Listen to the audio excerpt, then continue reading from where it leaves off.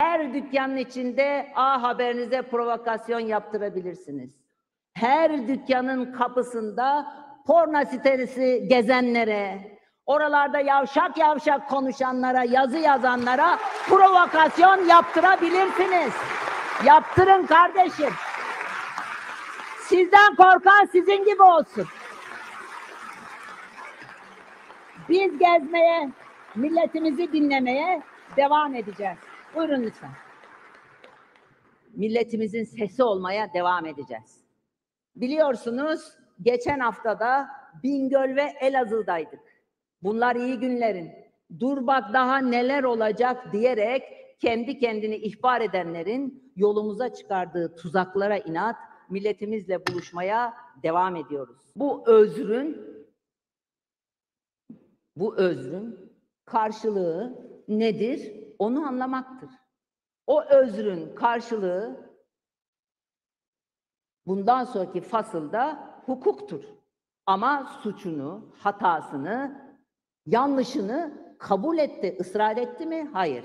Şimdi Sayın Erdoğan, madem o kadar hassassın, o zaman şimdi sen ve arkadaşların içinde aynı sorumluluğu alma vakti.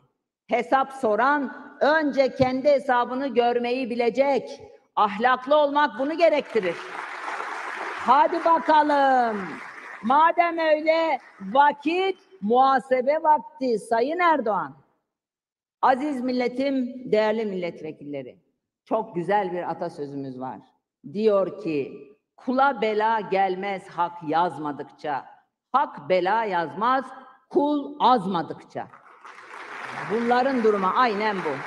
Nitekim bu siyasi fırsatçılığı Allah da şaşırtıyor. Bunlar artık bir siyasi partiye hizmet etmenin haşa sevap hanesine yazıldığını söyleyecek kadar zıvanadan çıktılar. İstanbul seçimlerinin meşhuru AK Parti Genel Başkan Yardımcısı diyor ki 20 yıl Recep Tayyip Erdoğan'ı iktidarda tutmak ve onun yaptıkları sebebiyle sevap hanemize bir şeylerin yazılıyor olması çok büyük bir şey. Rezalete bakar mısınız? Neyin günah, neyin sevap olduğuna da artık siz mi karar veriyorsunuz?